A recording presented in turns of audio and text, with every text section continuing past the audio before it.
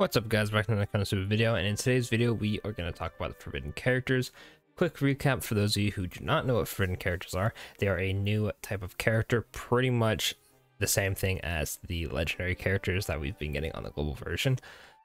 But they just have a different look, and they have a cool new mechanic called forbidden ults. These are new ults that only the forbidden characters can use. This is Aqua's pretty much it has a i believe both of them have the rainbow buff where you do more damage. I'm not too sure on the statistics on that personally but it also changes the background. It's pretty cool. Uh, this is forbidden aqua. I did pull her on my jp account and i am currently grinding quartz for the forbidden wiz. I probably want to have some video just because i'll probably only have like three four multis and it'll just be me summing for her until I get her on the JP side.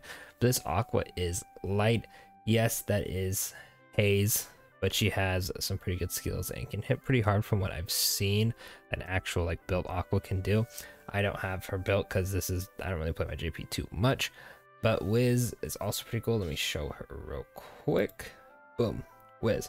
All right, so the main reason I wanted to talk about this video is because on the global version, our next legendary character is tied to Christmas.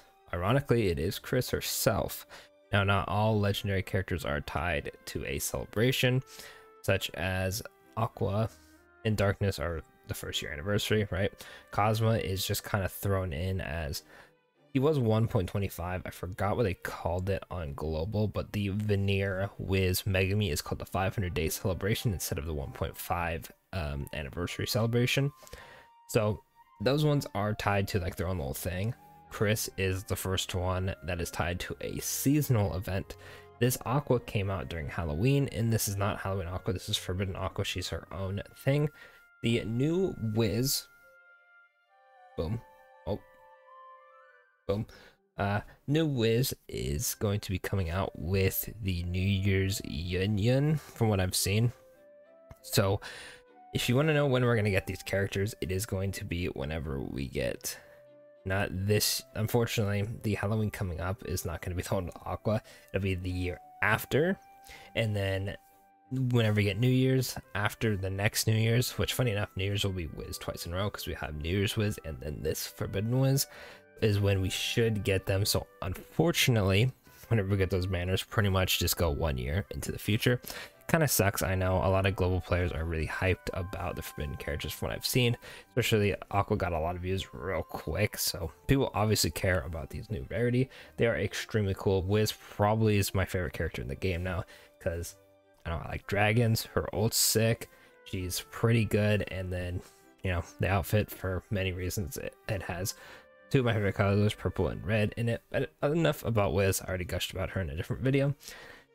They're pretty cool units. So it does suck that we have to wait a year, but it looks like we potentially might be getting a forbidden character every seasonal. It really depends on if stuff like Valentine's Day or it's another celebration. Summer, I guess, if we get them during those celebrations.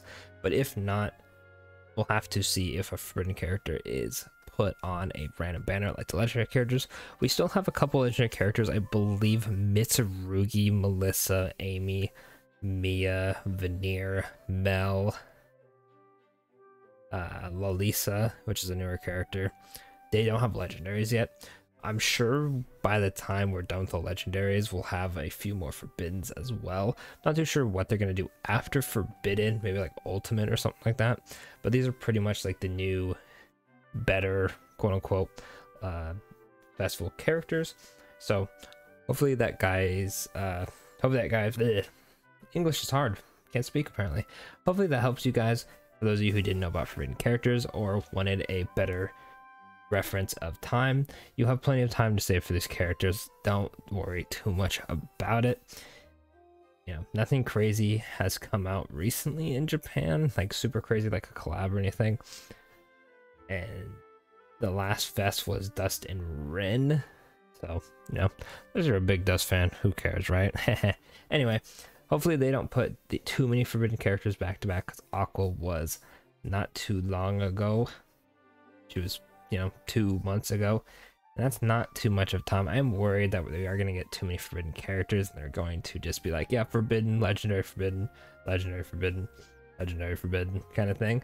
So I'm a bit worried about that. But other than that, that's pretty much all I have to say about these characters. Let me know in the comments if who you're excited for, if you're excited for Forbidden Megumin, Forbidden Vanir, Forbidden Kazuma, whoever it may be. And, you know, I don't know, guess their elements. Wiz is Earth, Aqua is Light, so obviously they're not going to play it by the normal rules of, you know, their whatever their OG type was is what they're going to get. Dust was kind of weird and he was Wind. We don't talk about him. That sucks. Anyway, that's pretty much it. Like I said, don't forget to like, subscribe for more Konosuba content, and I'll catch y'all in the next Konosuba video.